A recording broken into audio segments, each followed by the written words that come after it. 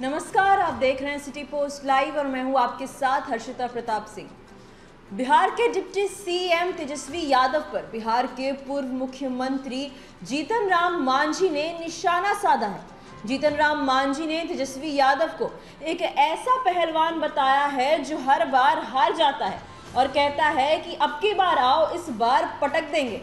पूर्व सीएम जीतन राम मांझी ने छत्तीसगढ़, राजस्थान, एमपी, तेलंगाना और मिजोरम के विधानसभा चुनाव में बीजेपी की हार होने के तेजस्वी के दावे पर तंज कसा है? बिहार के पूर्व सीएम जीतन राम मांझी ने कहा कि हर पहलवान अक्सर अखाड़ा में यही कहता है कि अब की बार आओ, पटक देंगे।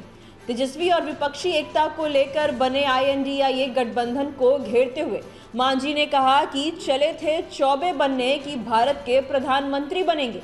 सभी दल के एक होकर बीजेपी का सामना करेंगे। लेकिन आज स्थिति क्या है?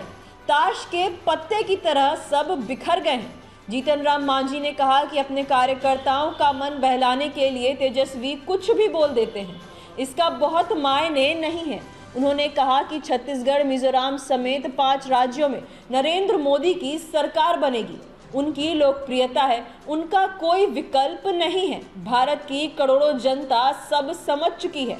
जीतन राम मांझी ने दुर्गा पूजा की बधाई देते हुए कहा कि नवरात्र में कन्या पूजन की परंपरा रही है। उन्होंने कहा कि अगर समाज में महिलाओं को सम्मान देना है तो बेटियों को अच्छी शिक्षा देनी होगी।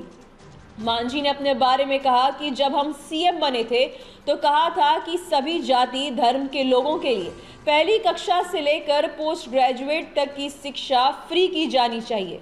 आज दुर्भाग्य है कि वह सिस्टम लागू नहीं हुआ। पैसे वाले तो पैसे से डिग्री ले लेते हैं, इसीलिए कहा कि कन्या पूजन से नहीं, बल्कि इसके लिए सरकार को आगे बढ़ना चाहिए। पूर्व सीएम जीतन राम मांझी ने तेजस्वी यादव पर तंज कसते हुए कहा कि तेजस्वी यादव ऐसे पहलवान हैं जो हर बार हार जाते हैं और फिर से जीतने का दावा करते हैं। पाँच राज्यों में हो रहे चुनाव को लेकर जीतन राम मांझी ने यह तंज कसा है और साफ़ तौर पर कहा है कि नरेंद्र मोदी के सामने कोई भी नहीं टिक सकता, नरेंद्र मोदी का कोई विकल्प नहीं है। और इन पाँच राज्यों में भी नरेंद्र मोदी की ही सरकार बनेगी। और वहीं दूसरी ओर तंज कसते हुए कहा कि तेजस्वी यादव अपने समर्थकों और कार्यकर्ताओं को खुश करने के लिए कुछ भी बोल देते हैं। क्या कुछ कहते नज़र आए? जीतन राम मांझी, हमने आपको विस्तार से इस रिपोर्ट में बताया। फ़िलहाल इस खबर में इतना ही। आप आगे की खबरों के लिए देखते रहिए सिटी पोस्ट लाइव। इस वीडियो को लाइक करें, शेयर करें और चैनल को सब्सक्राइब करना ना भूलें। धन्यवाद।